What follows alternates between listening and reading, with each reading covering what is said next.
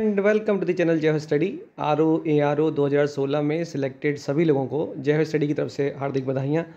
कल हम दोनों ही बाहर थे। मैं भी बाहर था और उत्कर्ष सर भी बाहर थे। तो इतनी खुल के बधाई नहीं दे पाए। और कल मैं वीडियो भी बनाने वाला था। ये वीडियो मैं सुबह के समय बना रहा हूँ एकदम, और ये शायद शाम तक अपलोड होगा। तो आप लोग देख पा रहे होंगे। ये खासकर उन विद्यार्थियों के लिए जो असफल हुए। देखिए, जो सफल हुए उनने अपने उसने, उन्होंने अपने सोपानों को पा लिया कि नहीं पा लिया? ये तो मैं नहीं कह सकता, क्योंकि कई लोगों की उड़ान ऊँची होती है। हो सकता है उन्होंने आज समीक्षाधिकारी पर छलांग मारी है, कल उनके ख्वाब दूसरे हों। लेकिन हाँ जो असफल हो गए, मुझे लगता है कि उनके पास आगे आने वाले समय में सफल होने के चांस थोड़े ज़्यादा हो जाएँगे, क्योंकि जब आप एक बार गिरते हैं तो आप वापस से उठने की कोशिश कर रहे होते हैं। तो ये वीडियो अंत तक अगर आप देखेंगे तो मेरे ख्याल से हो सकता है आप बीच में भावुक भी हो जाएँ। कई सारे ऐसे पहलुओं को मैं छू, छूने वाला हूँ जो मुझे लगता है कि शायद कई विद्यार्थी जो आज, क्योंकि कई बहुत सारे मैसेज आए कल और मैं रिप्लाई नहीं कर पाया। किन्हीं कारणों से मैं रिप्लाई करना चाहता था, मैं उन उन बच्चों से बात करना चाहता था, जो बहुत दुखी थे कि सर नहीं सिलेक्शन हुआ और मैं उन्हें समझाना चाह रहा था लेकिन नहीं कर पाया। आज मैं बात करूँगा, आज मैं शाम को जब फ्री होगा पूरा तो मैं एक एक करके सबको कॉल करूँगा, जिनका नहीं हुआ और जिनका हुआ है उनसे भी बातें की जाएँगी। तो जैसे जैसे हम लोग के पास स्क्रीनशॉट आते जा रहे हैं लास्ट ईयर हम लोगों ने समीक्षा अधिकारी सहायक समीक्षा अधिकारी का टेलीग्राम ग्रुप चलाया मेंस के लिए और उस मेंस में कई सारे लोगों ने अपने आंसर राइटिंग और answer writing in the sense कि ऐसे के बारे में उन्होंने गद्यांश हम लोग दे रहे थे, हम लोग लगातार पेपर वहाँ पे दे रहे थे, बच्चे सॉल्व करते थे। शाम को उसको वो लोग सॉल्व करने के बाद पीडीएफ बना के भेजा करते थे। फिर हमारे सर उसको रिव्यू करते थे और उसको रिव्यू देने के बाद हम लोग को फिर स्टूडेंट से फीडबैक लेना होता था कि सही दिशा में चल रहे हो कि नहीं चल पा रहे हो। कर पा रहे हो कि नहीं कर पा रहे हो? और अगर कोई बच्चा नहीं कर पा रहा था तो उसको हम फॉलो करते थे कि भाई क्यों नहीं कर रहे ऐसा क्यों हो रहा है कि तुमने नहीं answer sheet select answer sheet नहीं भेजी अभी तक? तो कई ऐसे बच्चे थे जिन्होंने बहुत अच्छे अच्छे ऐसे लिखे, और उनका सिलेक्शन हुआ, और कई ऐसे भी थे जिन्होंने ऐसे बहुत अच्छा लिखा लेकिन नहीं चूक गए, कहीं ना कहीं कुछ हुआ जहाँ चूके हैं। तो मैं यही कहना चाह रहा हूँ कि सफल और असफल होना में बहुत ज़्यादा अंतर होता नहीं है। एक, मेरे ख्याल से एक पायदान का अंतर है। अगर आप वास्तविकता में देखें तो सिर्फ़ एक पायदान का अंतर है। बस इतना हुआ है कि वो उस लाइन के उस पार पहुँच गया और आप इस लाइन के इस पार हैं बस। और ये नेचर प्रकृति भी अलग ही चल तरह की तरह तरीके से चलती है। मैं फिर से कह रहा हूँ, वीडियो जब तक आप आखिरी तक सुनेंगे, शायद अंत तक आते आते आपके अंदर एक नया जज्बा भर भर चुका होगा और आप एक नए जज्बे के साथ, जय स्टडी के साथ फिर से लग जाएँगे। देखिए, एक कहीं लाइनें बहुत बेहतरीन सी पढ़ी थी मैंने और ये मुझे अच्छे से पता है कि कई छात्र और कई छात्राएँ इस वक्त घर से दूर होंगे। दो कोरोना का काल आया लोग अपने घर गए वापस से बेचारे कच कुछ बच्चे इलाहाबाद पहुँच चुके हैं दिल्ली पहुँच चुके हैं लखनऊ पहुँच चुके हैं तैयारी कर रहे हैं माँ बाप से दूर हैं उनके सपनों को जीना चाहते हैं। और कल बड़ा अच्छी लाइनें पढ़ी मैंने। रात को ऐसे ही फेसबुक पे टहल रहा था तो कहीं आ, मैं नाम लेने में किसी का हिजक हिजक नहीं रहा होता हूँ। सौरभ पांडे जी का मैसेज पढ़ा उसमें लिखा हुआ था कि कि माँ तो देख रही होगी कि आज हर मतलब हर चीज़ों को पीछे छोड़ते हुए मैंने फाइनली सरकारी नौकरी पा ली। तो ये भावुक वाले क्षण होते हैं, ये भावुक वाली पंक्तियाँ होती हैं। आप अगर देखेंगे तो कई लोग कई दिनों से और कई सालों से उस सफलता के पीछे भाग रहे होते हैं। फाइनली जिस दिन वो सफलता मिलती है, उस दिन मतलब कहने के लिए शब्द नहीं बचते। लेकिन मैं बार बार यही कहना चाहता हूँ कि असफलता हमेशा कहता हूँ चुनौती है, उसे स्वीकार कर लो। क्या कमी रह गई उसे देखो और सुधार करो। जब तक ना सफल हो, नींद चैन को त्यागो, तुम संघर्ष का मैदान छोड़ मत भागो तुम। कुछ किए बिना ही जय जयकार नहीं होती। मेरे ख्याल से ये शब्द जो कुछ किए बिना ही जय जयकार नहीं होती, मैं नहीं कह सकता। क्योंकि मुझे पता है कि टेलीग्राम पर जुड़े हुए जय हो स्टडी के टेलीग्राम पर जुड़े हुए एक एक बच्चे ने बहुत मेहनत करी। ये मैं बिल्कुल, मेरे ख्याल से उत्कर्ष सर से हम यही मतलब चर्चा हो रही थी कि एक एक बच्चे ने बहुत मेहनत करी है। किसी के हक में वो जीत आ गई और किसी के हक में वो जीत नहीं आ पाई। बस इतना सा फ़र्क हुआ। वरना टेलीग्राम पे हमारे जुड़े हुए हर एक बच्चे ने मेहनत की है। उसने लगातार चीज़ों को निबंध हमने दिए तो सबने सबमिट किए। हमने गद्यांश, पद्यांश, पर्यावाची, जो भी हमने मांगा, जो भी हमने मांगने की कोशिश करी, पर्यावाची नहीं शायद। गद्यांश दिया गद्यांश दिया, पद्यांश भी नहीं।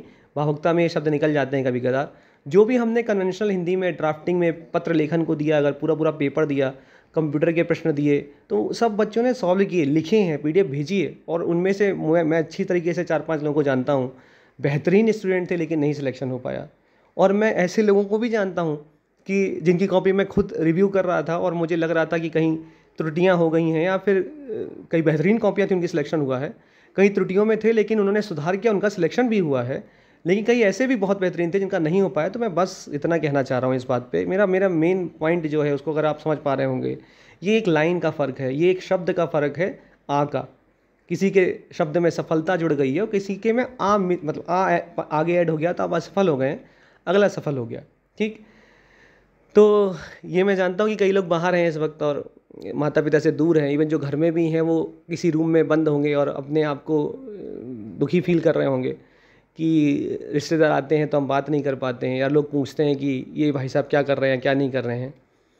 आ, मेरे ख्याल से आपको उन संतानवे परसेंट लोगों की तरह इतने सारे प्रयास या प्रयास करने के बाद 97 परसेंट लोग प्रयास करने के बाद गिव अप कर देते हैं सिर्फ़ उन तीन परसेंट लोगों के लिए जो कहने की आदत रखते हैं। आप उन तीन परसेंट लोगों के लिए आप आप समझिए इस चीज़ को कि आप संतानवे प्रतिशत लोग अपनी तैयारियाँ, तैयारी छोड़ देते हैं एंड टाइम पर आके, क्योंकि उन्हें लगता है कि हम सफल नहीं हो पाएँगे।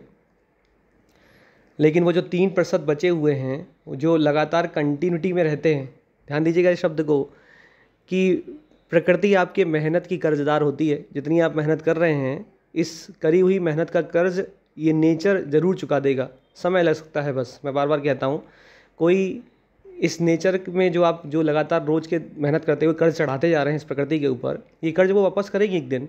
हाँ बस ये हो सकता है कि किसी को प्रकृति कम कीमत में अदा करती है ये कर्ज और किसी को बहुत कीमत लेके अदा कर पाती है। किसी से हो सकता है कुछ कम वसूले और उसको तुरंत सफलता दे और किसी से हो सकता है बहुत लंबा समय लेके वसूले कि नहीं इतना लंबा तो मुझे इतना संघर्ष तो तुम्हारा दे, दे, देखना है मुझे। तो ये बस एक खेल है सिक्के के दो पहलू हैं सफलता और असफलता। अगर इनसे गुजर जाएँगे और इस समय को अपने काबू में कर पाएँगे तो मेरे ख्याल से अगला साल आपका होगा। और जय स्टडी पूरी तरीके से, जो हमारे बच्चे थे टेलीग्राम ग्रुप में, उनके साथ खड़ी हुई है। जो सफल हुए हैं, उनके साथ हम बधाई, उनको हमेशा से बधाई दे रहे हैं बधाई अभी भी उनके लिए है। जो असफल हुए हैं, उनके साथ हम पूरे दृढ़ संकल्प के साथ खड़े हुए हैं। हम एक बार फिर से तैयार हैं पूरे जज्बे के साथ। समीक्षा अधिकारी, सहायक समीक्षा अधिकारी दो हज़ार इक्कीस की टेस्ट सीरीज़ शुरू होने वाली है। पूरे जज्बे के साथ हम लोग प्री की तैयारी फिर से कराने वाले शुरू हो, चुकी है तैयारी हो चुकी है। टेलीग्राम पे ग्रुप पे बच्चे ऐड हो चुके हैं। पी सी एस अपर की तैयारी चल रही है बहुत धुआंधार तरीके से चल रही है। क्रश कोर्स में बच्चे लगातार ज्वाइन कर रहे हैं। कुछ पाने के लिए कुछ खोना तो पड़ेगा ही तो तय है। और फिर मैं ये कहता हूँ कहना चाहूँगा कि ये मुझे अच्छे से पता है कि कुछ लोग सपनों की खातिर अपनों से दूर हो गए हैं मेरे ख्याल से और कुछ लोग अपनों की खातिर सपनों से दूर हो गए हैं। आप किस लाइन को चुनना चाहते हैं, ये आप पे निर्भर करता है। कि आप पहली लाइन को चुनना चाहते हैं, कि आप अपने सपनों के लिए दूसरों से दूर होना चाहते हैं, या आप दूसरों के लिए सपनों से दूर होना चाहते हैं। तो आप इस लाइन को आप चुनें। ये मैं आप पे छोड़ रहा हूँ। और एक बार फिर से मैं उन लोगों को बधाई दूँगा जो सफल हुए, और उन लोगों को भी ढेर सारी बधाई दूँगा जो असफल हुए। इसलिए नहीं, इसलिए बधाई दे रहा हूँ ढेर सारी कि आने वाले 2021 में आपकी सफलता मुझे लगता है बहुत श्योर होगी। आप जय स्टडी के साथ जुड़े रहिए।